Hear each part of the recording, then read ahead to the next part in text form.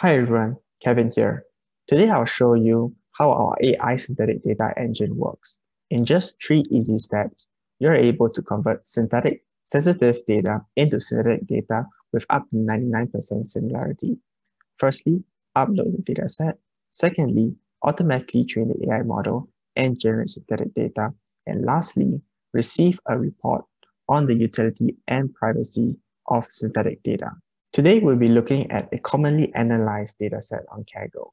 So this dataset was created by a consumer credit card company that was facing the problem of customer attrition.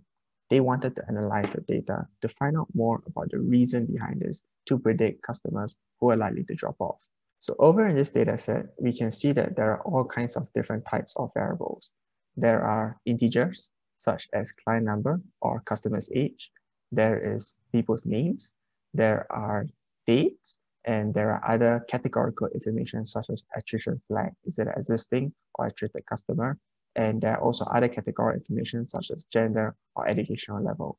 So we can see that there's a lot of data here that is sensitive and could possibly personally identify the person.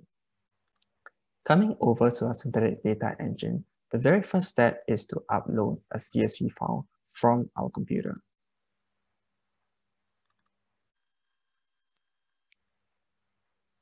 Next, we will preview the data just to see it's okay.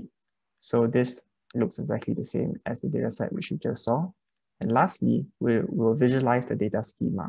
So the data schema just helps us to understand the different types of data that is inside the dataset, such as client number, it's an integer, uh, such as our customer age is an integer, or attrition flag, which is categorical.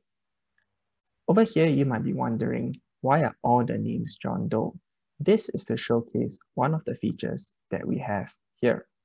We can choose to replace a column with randomly generated fake data. This is usually done to mask any personal identifiers like names or IDs. So here I would replace the original name column that is all John Doe's and replace it with randomly generated names. So we can choose any of these different masks from fake license plate numbers to fake company names to fake geolocations. So the next step is to train the synthetic data generation model that takes anywhere from 30 minutes to three hours. I've done it in the interest of time. Now let's generate some synthetic data samples. So we can see that 10,000 rows of synthetic data is being generated and all of the data is very similar to the original data, with exception of the names, which we can see that in this column, all of the names are randomly generated compared to the original John Doe. Next, we will see some charts and metrics for the data quality and the data privacy of the synthetic data being generated. So this will take some time to generate. Let's just go right to the report to see how it looks like. So first, in this report, we will see the data schema, and we can also see an overall statistical score as well as an overall correlation score, both of which is above 90%, so this is good. Over here, we can see the distributions of each of the columns or each of the variables of the synthetic data compared to the real data. And we can see that they're very similar distributions. Let's say for customer age, for the real data that's in blue, there is this distribution. And for the fake data, there is a similar distribution. And this goes the same for the rest of the variables as well. To be realistic, synthetic data has to also capture the complex relationship between variables, such as the income category should be well correlated with the credit limit, because the higher the income bracket, the higher the credit limit. And we can see that for both the real and the synthetic data, the correlation charts are similar, which means that the AI model has accurately replicated the characteristics of the original dataset. Lastly, on privacy, we will make sure that there is no overlapping roles between the real and synthetic data. And in this case, it's zero. So this is good. Our synthetic data is privacy safe. Next, I'll go through two additional features of our synthetic data engine. With the use of our conditional generation model, we're able to skew the distribution of our dataset to improve its quality, such as for data imbalances or bias correction. Let's see how this can be done in our software.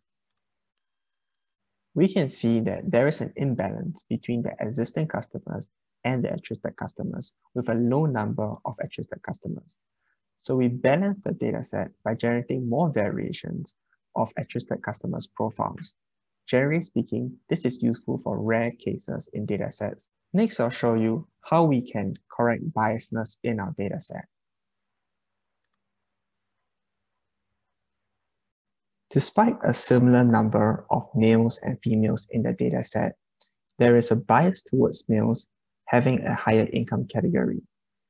So we can see that in the lowest income category of less than 40,000, there are three times the number of females than males. This is problematic because this bias data could be used to train an AI model down the road that inaccurately assumes that males have a higher income and perhaps assign a higher credit score to males. So we correct this bias in the dataset by generating an equal amount of males and females in each of the different income categories. Next, we will generate some metrics for data quality and data privacy to see how this turns out. Switching back to the report, we can see now that the bias has been removed and the gender and the income level is no longer correlated compared to the original dataset.